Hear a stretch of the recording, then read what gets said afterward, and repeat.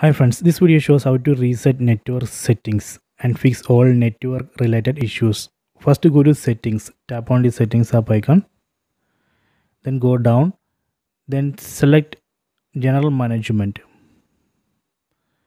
Then go down, then select reset. Then select reset network settings